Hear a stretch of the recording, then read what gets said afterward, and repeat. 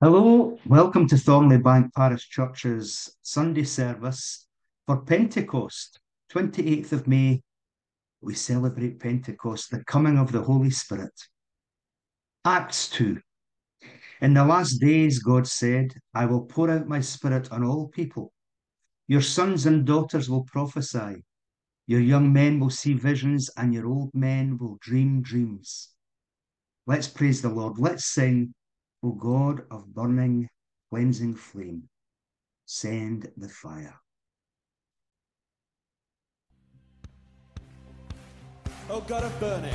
Oh God of burning,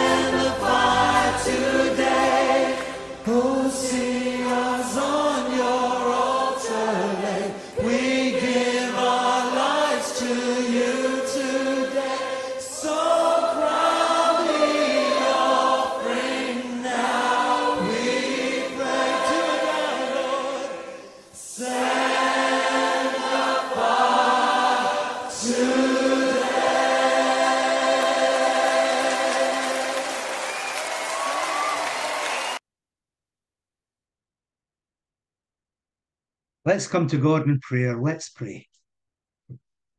Heavenly Father, we rejoice that as you came to the apostles on that day of Pentecost, you keep coming to us today, making yourself known in different ways, at different times, and in different places. And through your Holy Spirit, you're always present, constantly moving in our lives. For your presence at work in us, we give you our praise and our thanks. Lord Jesus, you come to us in power, releasing unimagined potential, imparting unexpected gifts, and empowering us to build your kingdom. Lord, we praise you that weak as we are, you consider us worthy of your many gifts. Help us to use what you give, that we may share your gospel wherever we can. You equip us for the work you have for us, and for this, with this, we give you praise and thanks. Holy Spirit, we welcome you again, opening our minds to your guidance, opening our hearts to your love, and our lives to your purpose. May all we do, all we are, and all we shall be glorify you and honor you. And we make this prayer in the saving name of Jesus Christ, who taught us to pray together. Our Father who art in heaven, hallowed be thy name. Thy kingdom come, thy will be done on earth as it is in heaven.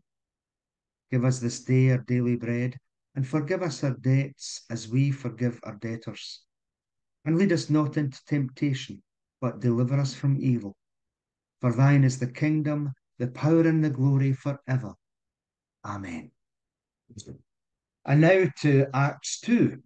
Acts chapter 2, which tells the story of Pentecost. The birth of the church is what I call Pentecost because this is really when the church became powerful. This is when the church was born. So, Acts 2, and I'm reading verses 1 to 21. Let's listen to God's words. When the day of Pentecost came, they were all together in one place. Suddenly, a sound like a blowing of a violent wind came from heaven and filled the whole house where they were sitting. They saw what seemed to be tongues of fire that separated and came to rest on each of them. All of them were filled with the Holy Spirit and began to speak in different tongues as the Spirit enabled them. Now there were staying in Jerusalem God fearing Jews from every nation under heaven. When they heard the sound, crowd came together in bewilderment because each one heard their own language being spoken.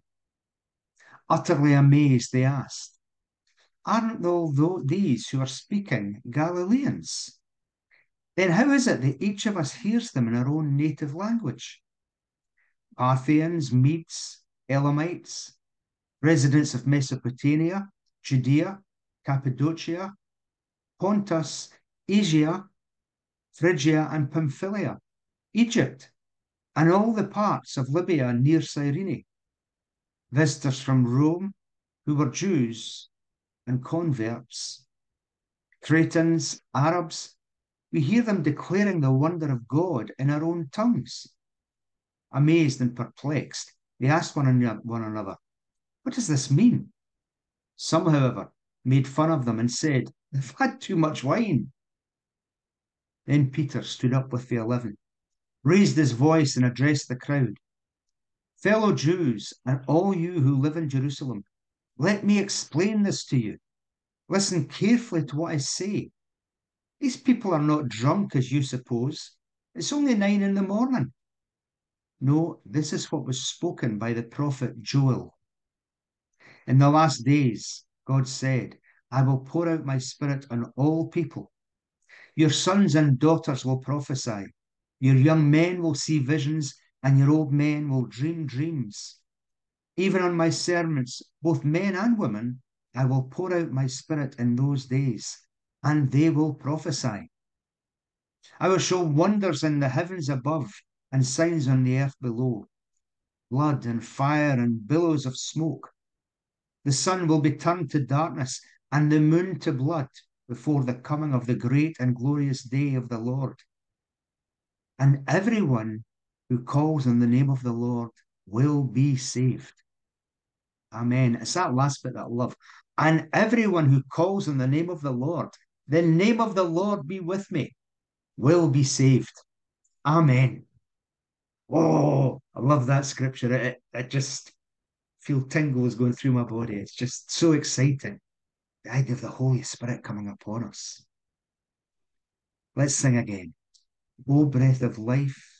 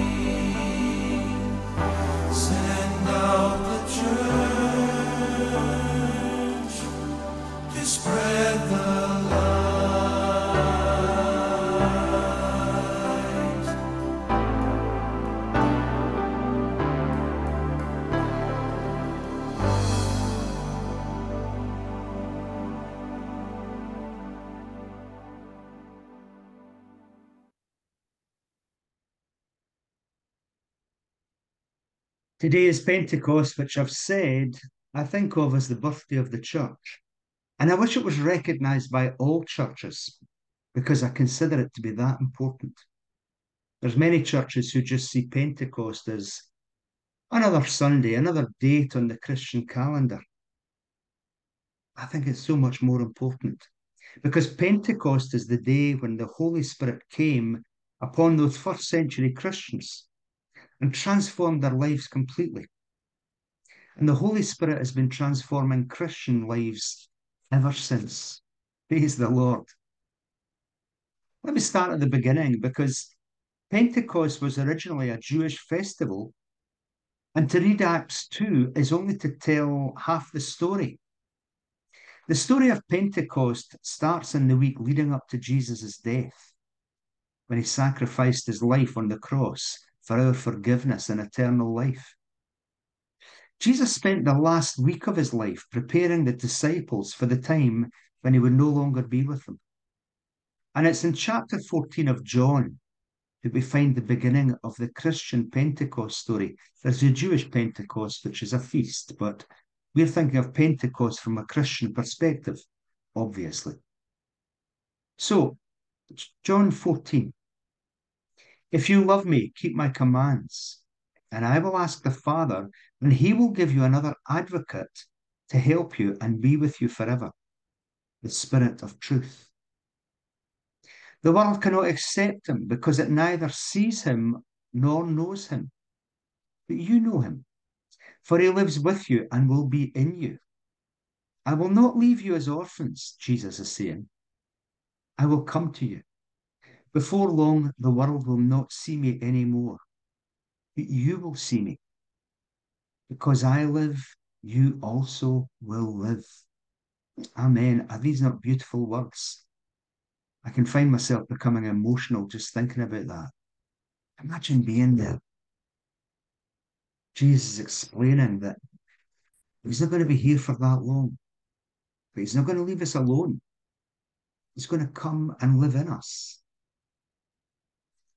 That must have been so difficult to understand. You know, my, my dear mother died of leukemia.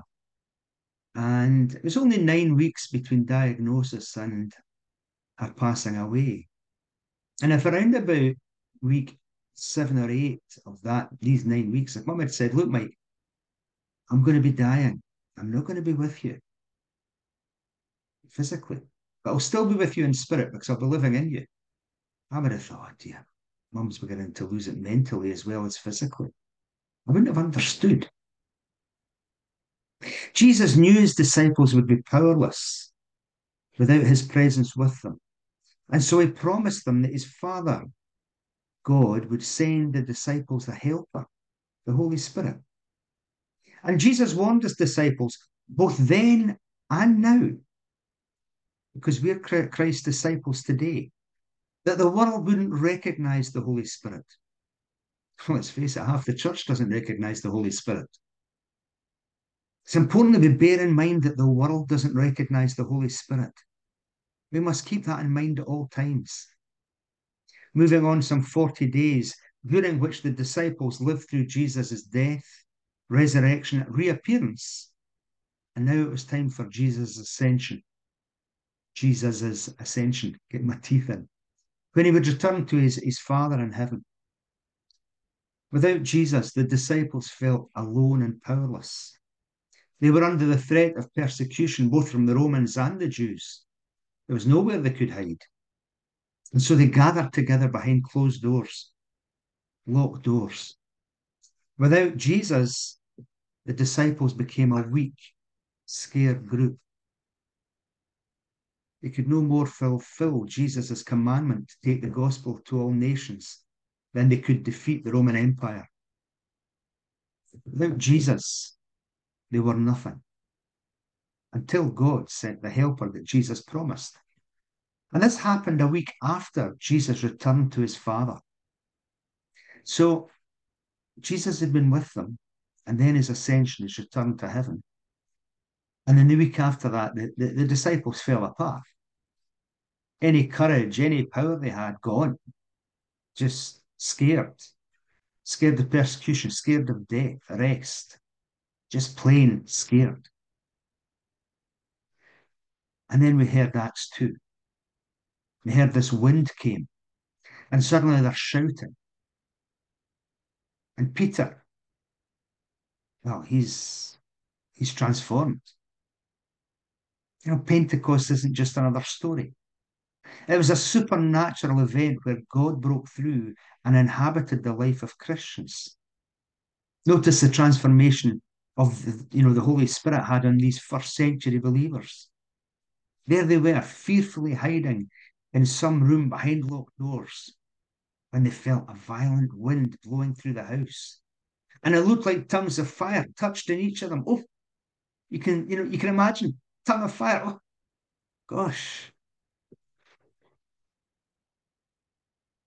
Then they were filled with the Holy Spirit. And they began to speak in tongues as the Spirit enabled them. And they poured out into the streets to celebrate.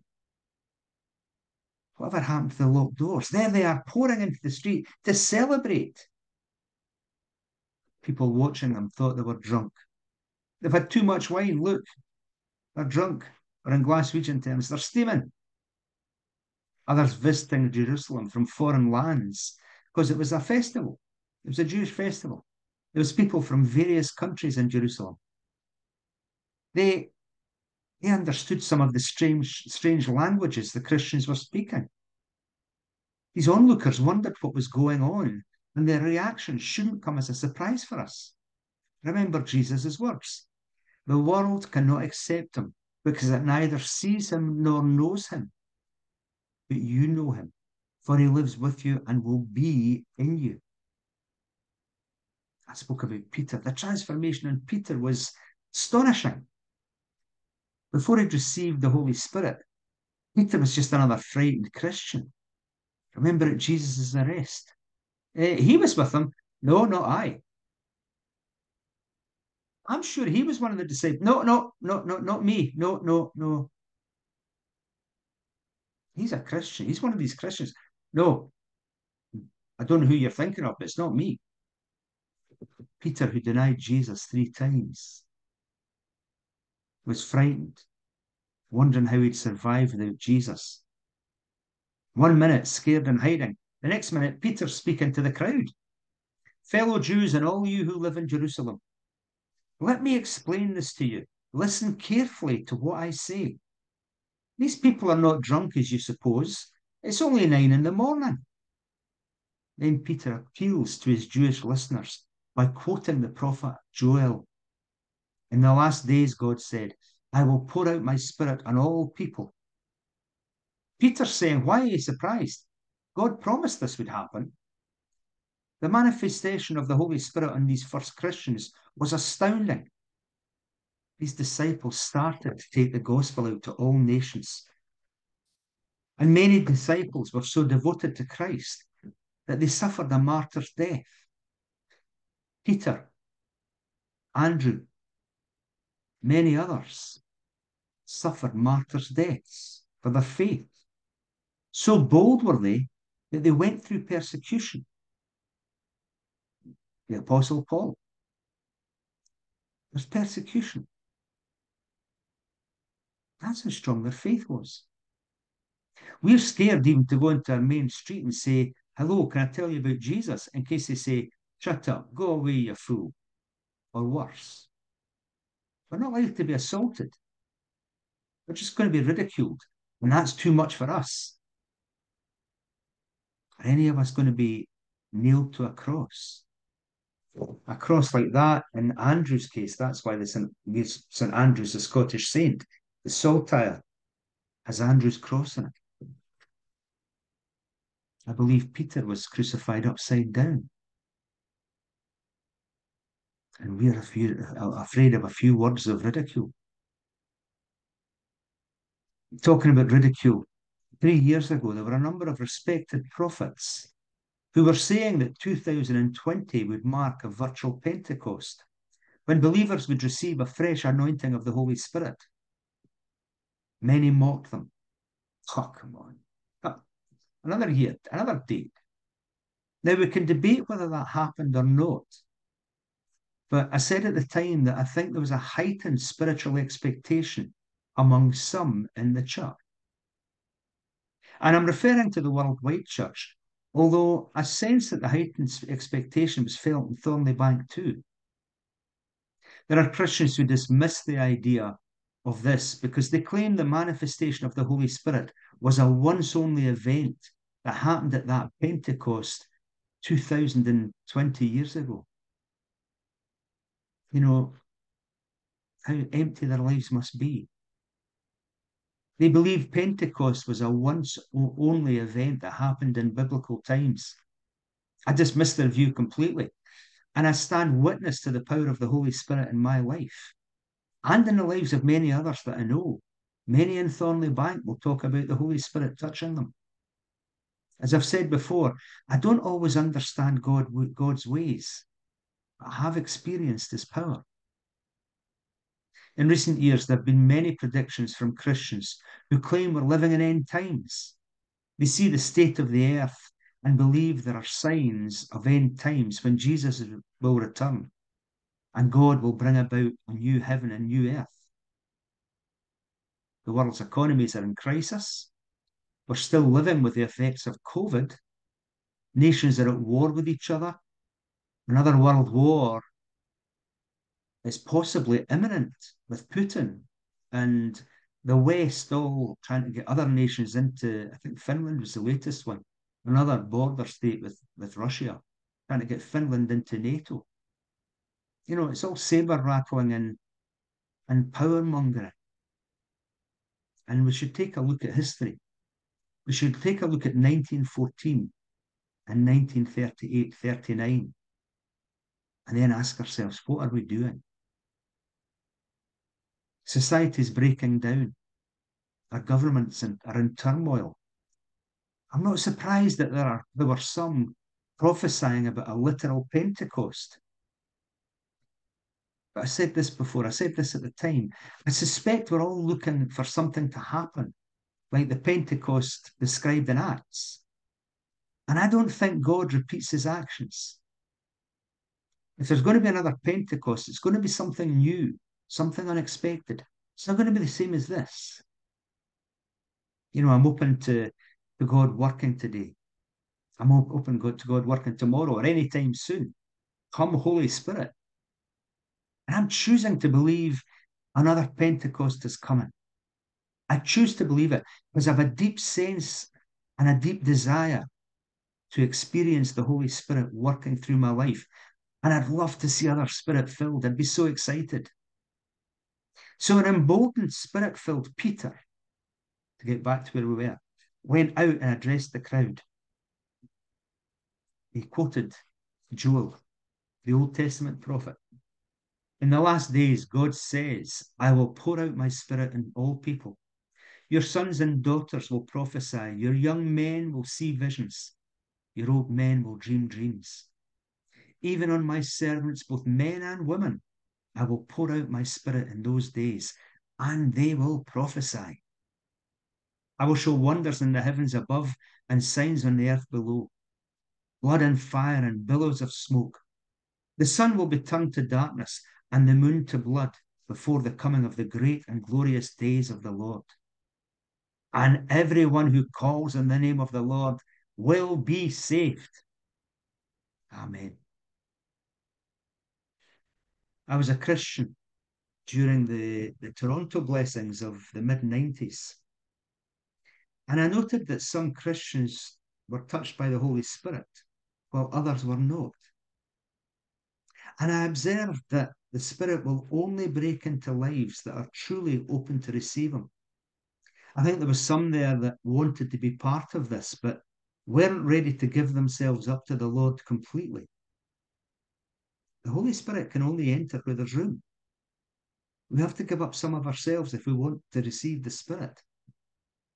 Jesus and his Jesus and his Holy Spirit never forced themselves upon any who weren't ready or willing to receive.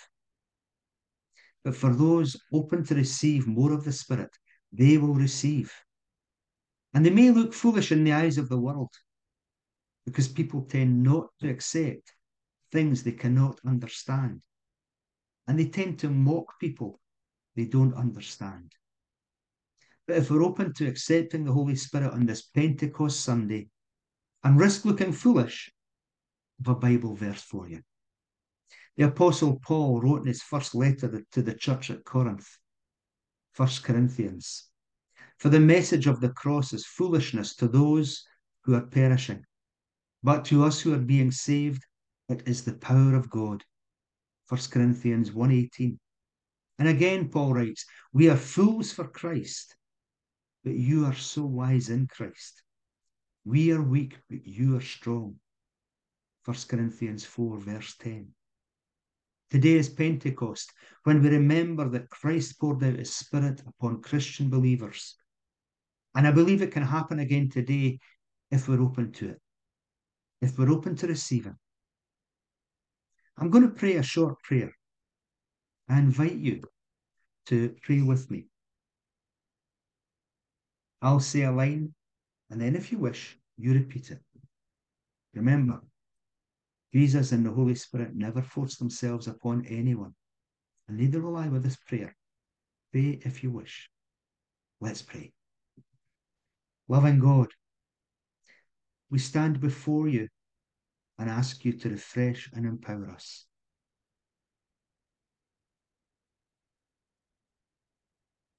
Send us your Holy Spirit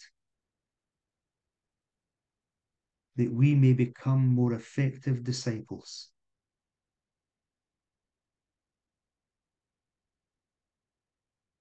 Send us your Holy Spirit that we may better communicate and live our faith.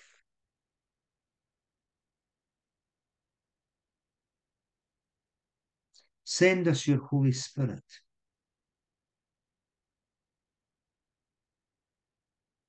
that we may have boldness to bring others to Christ.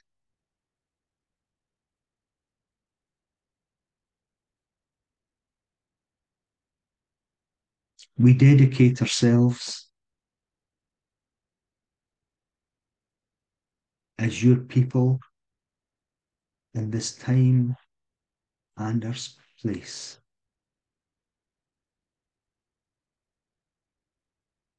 In Jesus' name, Amen.